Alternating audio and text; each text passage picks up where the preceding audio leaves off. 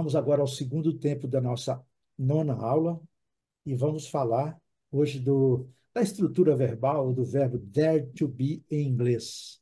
Ok? Vou dar umas, uma, umas pequenas explicações aqui. A estrutura dare to be em inglês é equivalente ao, aos impessoais, haver, existir ou ter, no sentido de existir. É utilizado em inglês quando queremos falar de existência, localização ou quando, ou quando as coisas acontecem que é uma introduçãozinha básica. No português ele é diferente. Observe bem. No português eu digo, há um gato na cozinha. Há três gatos na cozinha. Então a estrutura não muda. Ok, João? Há 500 gatos na cozinha. Há um milhão de gatos. Não importa.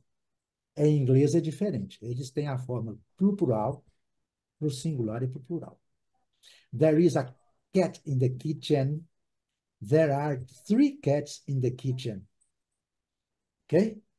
Então, passou de um, a gente usa plural. O, o, o, problema agora é que, não é problema, que nós estudamos isso, né? Agora nós podemos fazer. Aqui estou dizendo que existe, né, gente? Mas eu posso hum. falar que não existe, posso falar que vai existir, né, Vanderlei? Posso falar que existirá, posso falar que, né, que pode haver, que pode não haver. Não existirá, não, não existirá, que existirá, que pode haver, que poderia haver. Então, tem mil formas. É o que nós vamos tentar explicar da agora para frente aqui. Vamos lá. Então, é sempre a terceira pessoa, né? No caso do português, é somente né, a, é, a né? É o, é o, o neutro. Eles não, eles têm o there is para singular e there are para plural, ok? Muito simples, né? Não tem dúvida, não. Então não tem, né? Eu, eu, a, eu, eu ou, né? Não existe né? o verbo haver, né? Não existe, né? Eu, eu, você há, né? Não existe isso, né? Então aqui é só mesmo para indicar, né? O que interessa para nós é isso aqui, no sentido de existir, ok? Vamos lá to be. Essa lição é um pouquinho repetitiva para poder ficar bem fixado. Né? There is, terceira pessoa do singular. There are, terceira pessoa do plural. Já começa a complicar, né, gente? Aqui é a, né? A. Aqui é havia, houve, né? É. Havia um gato na sala. There, uh, there was né? na cozinha, né? There was a cat in the kitchen, ok, gente? Havia, né? Havia ou houve, sei lá, passado, tá? Sentido, passado o verbo haver, né? E there were tá para o plural. Por quê, gente? Por que que there was? Porque o plural do verbo to be é I was, you were, he, she, it was. Vocês lembram disso, né? Não esqueceram disso ainda não, né? né, Vanderlei? Então, é por isso que there were. Terceira pessoa, they, né? They were. Vamos lá. Gente, aqui haverá, né? There will be. Haverá um gato na cozinha, né? Então, there will be. Uma vantagem que tem que no futuro não tem plural e singular, é igual. Ok? Ok, João Gabriel? There will be. Haverá um gato na cozinha. There will be a cat in the kitchen. Haverá um there milhão de gatos na cozinha. There will be um milhão de gatos na cozinha, ok? There gente? will be. Sempre there will be para qualquer quantidade. Certo, Kathleen? Então vamos lá, né? Agora as traduções. No presente, gente, there is pode ter contraction form ou short form, né? Short é pequeno, né, gente? Eles chamam, né, a forma contraída de short form ou contract form. Não importa. There is there is. There are, não há, né? Não há forma contraída. There was, não há. There were, não é. E there will, be, no futuro, há. Só tem contraído, então, no... É, é, é na primeira, é, no presente e no futuro. No passado não tem forma contraída. There are, there was, there were, né? There are o presente. Passado, there was, there were. Futuro, there will be. Vamos aí. Forma negativa, gente. Mesma coisa, né? Não é there is, né? não há.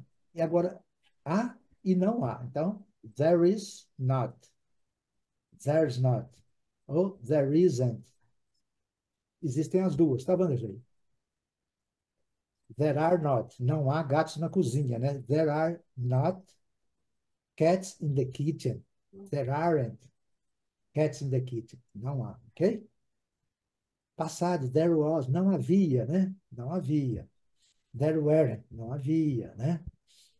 E there will not be. Ou there won't be. Não haverá, ok? Isso tem, tem que voltar esse material para entender. Vocês estão entendendo a lógica do negócio aí? É muita informação, mas na verdade é, é aquela história: presente, passado e futuro. Não tem muito o que fazer. Gente, interrogativa. Lígia, como é que faz a interrogativa nos verbos, no verbo to be? Você pega, o, você pega o verbo, o verbo e coloca na frente. Exatamente. É Uhum. a mesma coisa. Por isso é que tem, por isso é que aquela lição, aquela lição nossa do verbo to be, ela é importante para o resto da vida, é isso, né? Is É. there? Há um gato na cozinha? Is there a cat in the kitchen? Né? Uhum. Certinho? Is there? Are there two cats in the kitchen? Ok, gente? Muito fácil, né? Não é complicado. Havia, né? Havia um gato na cozinha, na sala, entendeu? Havia, havia dez gatos na cozinha. Haverá, né? Estou falando aqui, né, gente? Não é haverá dez gatos. Isso aí é só mesmo para didática, tá, gente? Não existe forma reduzida, né? Certo? A forma, né, contraída. E as traduções estão aqui. Pode ser houve, né? Né, Vanderlei? É, isso aí não tem muito, né? Não vamos preocupar com isso, não. Forma negativa, gente.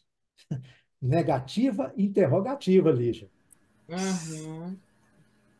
Certo? Tipo, Põe só o, note no final. Exatamente, exatamente. Rosiane, is there not? Are Not. there not? Was there not? Were there not? Will there not be? Not.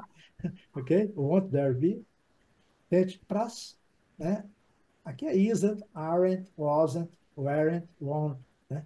Importante, né, a gente estudar, né, as, as, as pronúncias das contrações, né? Isn't, aren't, wasn't, weren't e won't. Won't. Were there? Won't there be? É, ok, vamos lá. Quem, quem fez a última leitura foi, vocês lembram? Fui eu. Foi é, João Gabriel, né?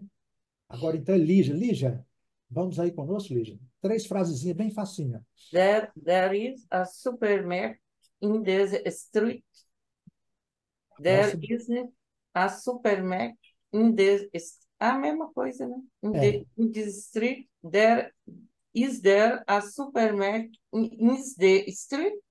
Ok, gente, aqui é o singular no presente, né? There is, é, a singular nas três formas, né? There is a supermarket in the street, in this street. Há um supermercado nesta rua. Aqui é a tradução para facilitar, né, gente? There is a supermarket. Lígia, é super, supermarket. Supermarket. Supermarket. Supermarket. Vamos, vamos pegar aqui, porque às vezes.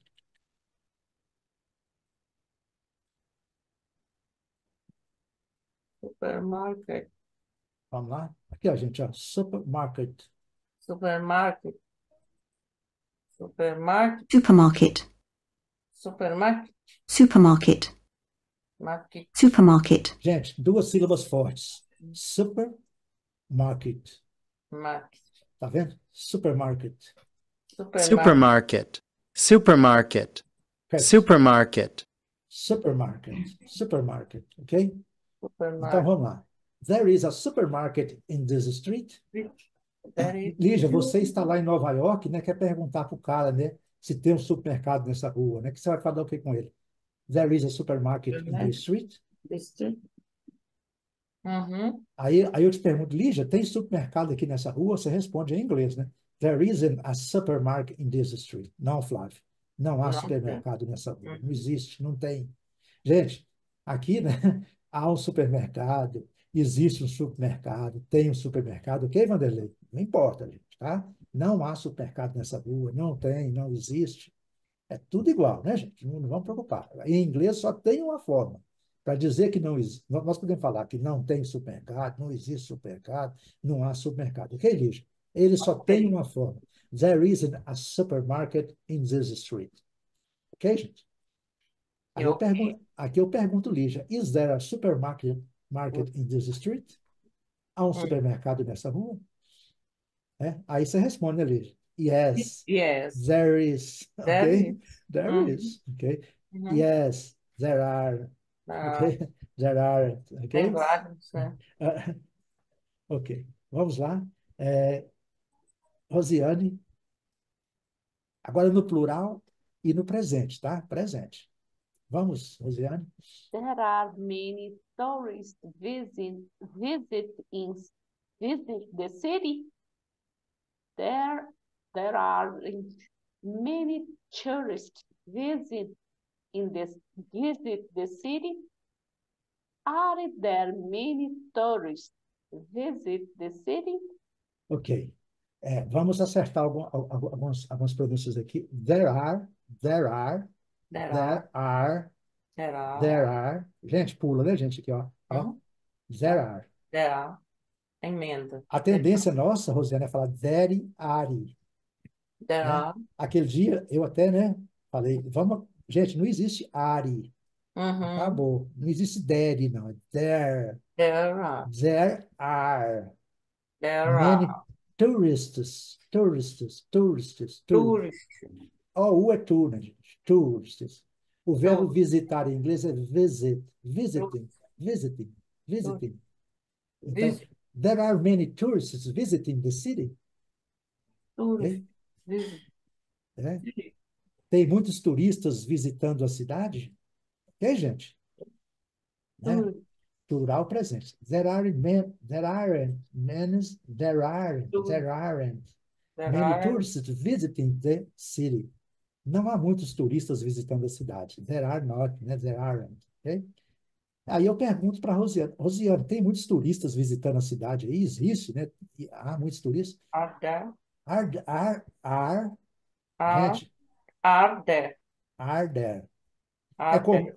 Rosiane, é comum, eu falo, você fala, mas a gente tem que, nós temos que nos policiarmos, né?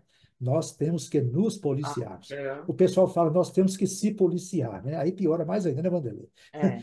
Nós é nos, né? Nós temos que nos policiar, né? Policiarmos, né?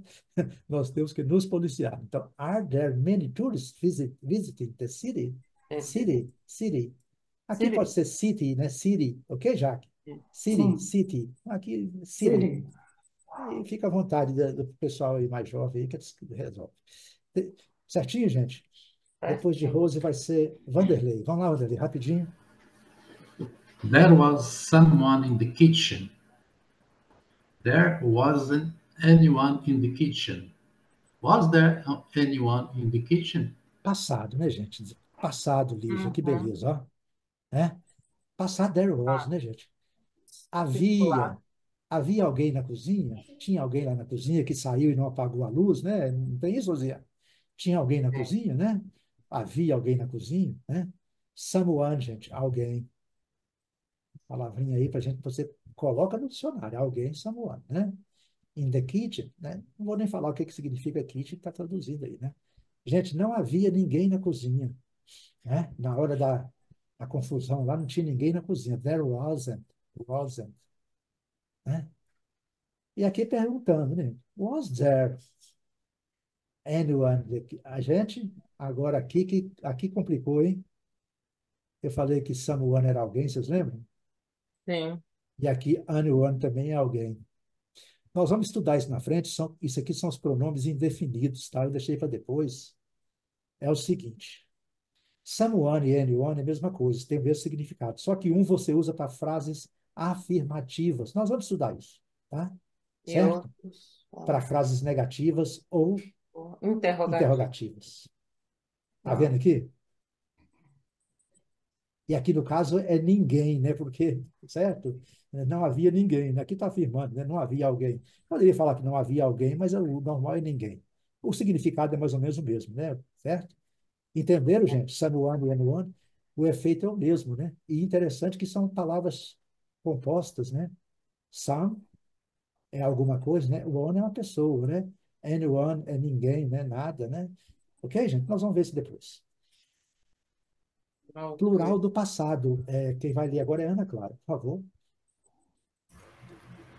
There, there were many studies in this in the classroom. Students. Você falou studies. Students. Students.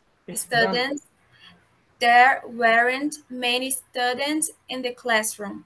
were there many students in the classroom? In the classroom? Ok, beleza. Gente, a, a pronúncia final dela, vocês veem a diferença, né? Classroom, Classroom. classroom. Ela, ela, já, ela já aderiu o M da boca fechada no final aí, não tem erro, né? Né, Vanderlei? Ué, e- Classroom. gente, e aqui, e aqui é, é, Rosiane, aí é o lugar de treinar esse E final, né? Where, there, There were, there, where. there Não é were, there, where, né, gente? Não é é, there, there where, né? were, there were There were. Were there a many students student in the classroom? um, ok? classroom. É isso aí, né? Kathleen, você. Futuro, gente. There were big clouds in the sky. Clouds. There Clouds. clouds. Clouds. É. É. There clouds in the sky. There won't be clouds in the sky. Will there be clouds in the sky? Clouds. É. Clouds é nuvens, né, gente? Aqui tá, né? Tradução. Gente, essa lição bem facinha e mais vocabulário, né, Jaque? Se É. o vocabulário estiver meio, né? É, Uhum. haverá nuvens no céu, né? O céu estará nublado, né? Aí não importa a tradução, né? There will be. Se eu quiser dizer que vai vai estar nublado, né? There will be. Ok, Vanderlei? Legal, né, gente? Não haverá. There won't be. There won't be. Né? Aí eu pergunto, será que vai ter nuvens no céu, né? O céu vai estar nublado amanhã, né? Certinho? Where will there be? Ou Muito fácil, Olhar na gente? meteorologia, né? Certo. Gente, aqui tem umas observações que eu vou ler rapidinho para a gente. Como você deve ter notado nos exemplos acima, em alguns momentos foi utilizado o verbo haver, em outros o verbo ter, no dare to be. Não importa, né, gente? Já falei sobre isso, só mesmo para fixar. Né? Acontece que no português tanto faz usar um como o outro. A diferença é que o verbo haver é mais empregado na linguagem formal. E ter é na coloquial, ou seja, né? Muito mais comum falar. Tem alguém na cozinha, né? Do que há alguém na cozinha. Ok? Que é só observação para a gente poder fixar. Outro detalhe devemos chamar a atenção é que no português, quando o verbo haver tiver a função impessoal, já falamos isso, é, cria-se uma oração sem sujeito, sem sujeito, né? Mesmo que o objeto esteja no plural, sua forma não mudará, será mantida no singular, para fixar também. Porém, isso não acontece no inglês. O verbo terá que concordar com o número, singular ou plural. Como, ter, como que se segue? Vamos lá. Lê para nós aí, é, é, Ana Clara. Não, é Vanderlei, né? Aí depois Eu- de Anne, Ah, não. eu não. Ah, nossa, desculpa, já que é você. There is only one taxi in the city. É taxi ou táxi? Táxi, táxi, táxi, táxi, táxi. Quer ver? Vamos, vamos resolver? Hoje nós estamos, o tempo hoje está legal, né? A lição hoje está fluindo bem, bem melhor, né, gente? É, Está fluindo melhor, né? Com esse negócio de ler, né? Né, Vanderlei? Cada um lê um, um- Fica muito mais fácil. Aqui, gente, ó. Taxi. taxi. É, gente, é, é aquele A misturado com E. Nós temos, Taxi. ó, vocês lembram que a pronúncia do A tem aquela. O A pode significar EI, pode ter a pronúncia do som do A e pode ter a pronúncia do A, é, né? Taxi, taxi. ok? Taxi. taxi, taxi, taxi, taxi, Taxi, taxi. É a mistura do A com E, ok? Taxi, taxi, sei lá. Aí vocês que escolham o que for melhor. Gente, aqui está dizendo né, que é igual Monte Azul antigamente, só tinha um táxi, né? Não é Vanderlei antigamente, quando Vanderlei trabalhava no banco lá, there is only taxi in the city, né? Então, Uhum. há ou tem apenas um táxi na cidade. Tinha, né? Agora, agora tem bastante. Vamos lá, é, Jaque. There are taxis, but there aren't any buses on Sunday. Gente, é, there are taxis, but there aren't any buses. Buses. Buses. Buses. Yes, Buses. buses. On Sunday. ok? É, Tem táxi, Sério? né? Mas no domingo não tem ônibus, não passa ônibus lá, né? Uhum. Né? A próxima, There was only one ta- taxi in the city. There was, havia, né? Aqui, gente, é exercício de fixação, tá? Próximo, There were taxis, but there weren't any bu- buses. N, buses, buses, Buses. buses, Buses. Buses. buses. Havia, tinha táxi, mas não havia não tinha ônibus algum, ok? Uhum. Gente, a exceção é com o verbo, né? Eu já falei do futuro também, né? Vamos lá, Rosiane, lê para a gente essas frases para a gente encerrar. Rosiane, tá aí? Vanderlei, tá? Lê para a gente. There, there will be only a concert on Saturday. There, there will be many concerts on Saturday. Continua resumindo, o there to be é utilizado quando tem sentido de existir. O verbo ter, quando tem sentido de posse, é traduzido como have. I have. Eu É, gente, isso aqui não, isso aqui não precisa nem de falar, né, gente? É, tem um gato na sala, né? Isso é uma coisa, né? Tem um gato na cozinha, né? Há um gato na cozinha, claro, né? Agora, se eu quiser dizer que eu tenho um gato, eu tenho um gato, sou dono de um gato, então a Eva quer, ok, gente? Uhum. Certo? Isso aqui não precisa nem de falar, né? Isso aqui ficou bem claro, né? Não tem dúvida. E, gente, e o, o will be, né? Haverá, terá apenas um concerto de música no sábado, ou haverá, there will many. Aqui, gente, ó, only concert, um concerto. Many concert, vários concertos, ok? Alguns concertos, vários concertos, ok? Qual que é a pronúncia aí, Flávio? Daryl, é Daryl? Daryl, Daryl, Daryl, Daryl. É, aquelas pronúncias também meio traiçoeiras, né? Vamos ver se tem aqui no dicionário para a gente ver aqui. Não sei se tem, não. Vamos ver aqui. Essas contrações. Zé- Não tem, não. Daryl. Mas é Daryl, Daryl, Daryl. Errou. Errou. Gente, aqui, ó, Vê, Daryl. vê o weren't, weren't, É. se tem no, no dicionário, Flávio. Weren't tem. Não, there weren't. Weren't. O, só né, a forma contraída Weren't. negativa. Aí, weren't. weren't, weren't, É, lembrando que no inglês ele não vai pronunciar o R aqui, né? Aqui vai, ó. weren't, weren't, weren't, weren't, weren't, weren't, Weren't. Went. Went.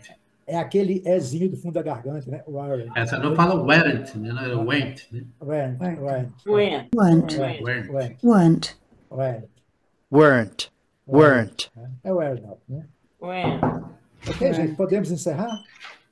Sim. Foi rápido. Thank you. Muito obrigado a todos. Obrigada.